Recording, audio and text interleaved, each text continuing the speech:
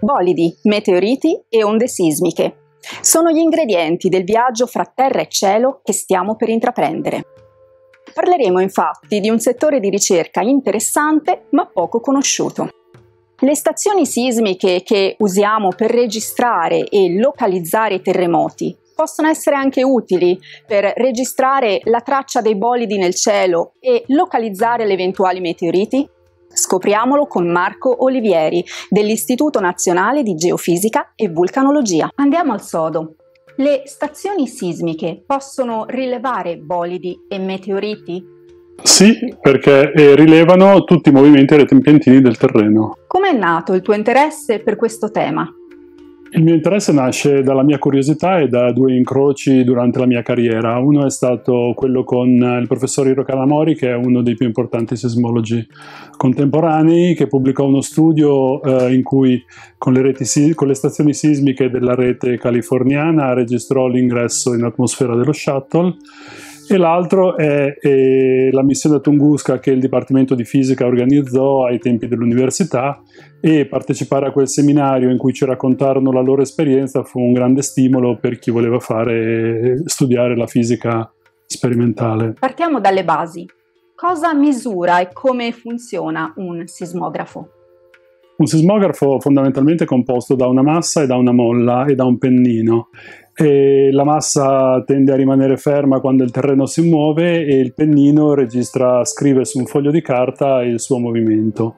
Nell'accezione moderna il, il sismografo è composto da un, um, anche da un uh, sistema di smorfamento e da un sistema di retroazione che tende a tenere ferma la massa. Questo permette di, di avere sismometri a larga banda che quindi registrano un'ampia gamma di frequenze e quello che noi misuriamo è la differenza di potenziale applicata al sistema per tenere ferma la massa. E, e, questo è proporzionale alla velocità di movimento del terreno. Come è distribuita la rete sismica in Italia?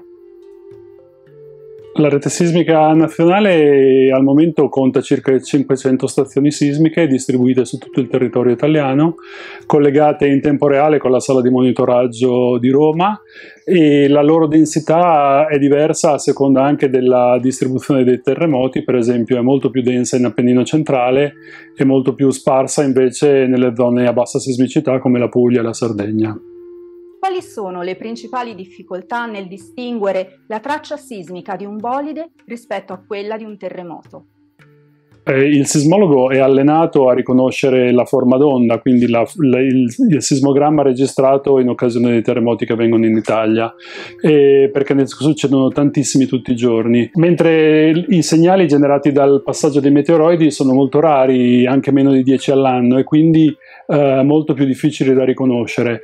In più c'è il problema che i sistemi automatici di localizzazione riconoscono automaticamente i terremoti che avvengono nel sottosuolo, mentre scartano come rumore segnali generati in atmosfera. In questo caso è fondamentale ricevere delle informazioni dall'esterno, come per esempio eh, le localizzazioni e le detezioni fatte da Prisma, eh, la rete di monitoraggio del, dei meteoroidi. Una volta che il passaggio di un bolide è stato identificato, interpretare la sua traccia sismica è più difficile rispetto a quella di un terremoto? Se sì, perché? Le due complessità principali sono il fatto che eh, i terremoti sono possiamo considerarli simili eh, nella, loro, nella, loro, forma nel loro accadimento, mentre il passaggio dei bolidi abbiamo capito che ha tante diversità, sia come direzione che come ingresso in atmosfera, che come velocità e, e la presenza di esplosioni o meno e l'impatto a terra. Questo rende eh, molto diverse le, le, le forme d'onda che registriamo sui sismometri. L'altra complessità è il fatto che per i terremoti abbiamo un modello di velocità che è statico, non cambia nel tempo, il modello di velocità all'interno della Terra, mentre eh, le condizioni meteorologiche in atmosfera cambiano anche in modo sostanziale e questo cambia la velocità con cui si propagano le onde acustiche all'interno dell'atmosfera. Entriamo un po' più nel dettaglio. Con i sismografi si possono riconoscere le varie fasi del passaggio di un bolide in atmosfera? Sì, quando, quando, abbiamo a disposizione i dati di una rete estesa di sismografi possiamo riconoscere le varie fasi del, del passaggio di un meteoroide e nell'ingresso in atmosfera abbiamo la formazione di un cono di Mach, quindi di un'onda piana che si propaga e, che, e poi invece quando abbiamo delle esplosioni in atmosfera vediamo, si, si genera un'onda sferica che ed entrambe quando impattano col terreno si propagano come onde di Rayleigh, quindi come onde di superficie. Nel caso invece un, dell'impatto a terra eh, abbiamo delle onde di volume che si propagano all'interno del terreno in modo sferico. Quindi cosa ci possono dire i dati sismici sui bolidi e quali sono i loro limiti? Ah, quello che ci possono dire è eh, l'informazione sul passaggio del bolide, eh, sulle eventuali esplosioni in atmosfera e eventualmente rilevare l'impatto a terra del meteorite. Quello che è complesso da fare è ricostruire la traiettoria, soprattutto perché il modello di velocità dell'atmosfera, della propagazione delle onde in atmosfera è molto incerto e quindi la ricostruzione che facciamo della traiettoria ha delle grandi incertezze, tali da renderla quasi inutilizzabile ai colleghi astrofisici. In collaborazione con la rete Prisma coordinata dall'INAF avete studiato il bolide del 5 marzo 2022 passato sopra il centro Italia un bolide che fu appena meno brillante della luna piena. Puoi raccontarci qualcosa?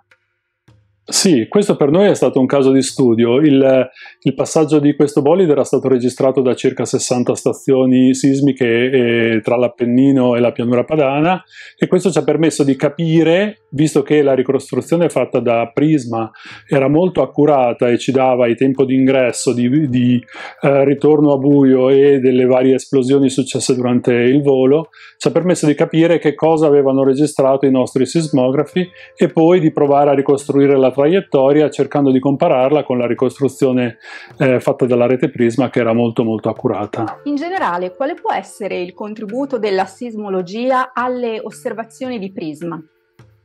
Quello che abbiamo capito, anche confrontandoci con i colleghi della rete Prisma, è che il contributo della sismologia può essere eh, fondamentale nel momento in cui la rete Prisma è cieca, cioè quando il cielo è nuvoloso oppure di giorno, in cui noi possiamo rilevare il passaggio dei bolidi e quindi, per esempio, aumentare la statistica e la conoscenza di quanti bolidi passano in cielo in un anno. La rete sismica potrebbe localizzare l'area di caduta di una meteorite?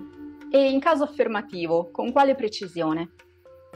Sì, eh, ma il, um, abbiamo calcolato che eh, riusciremo a rilevare gli impatti a terra solo di meteoriti di una massa superiore a circa 30-35 kg. L'errore tipicamente associato alle localizzazioni fatte dalla rete sismica nel, nelle zone in cui la rete sismica è densa è dell'ordine di qualche centinaio di metri e può raggiungere il chilometro, quindi un'ellisse di ehm, un chilometro di semiasse. Nelle ultime settimane si è parlato del forte boato avvertito all'isola d'Elba il 20 giugno scorso e che poi è stato associato ad un bolide. La rete sismica degli NGV ha rivelato qualcosa? Sì, la rete sismica l'ha registrato a diverse stazioni lungo la costa toscana e alcune stazioni che sono presenti sulle isole toscane e i risultati preliminari ci dicono che si trattava che i dati sismici registrati sono compatibili con un evento in atmosfera e a un'altezza rilevante, circa 30 km, però sono ancora risultati preliminari e la cui analisi deve essere completata.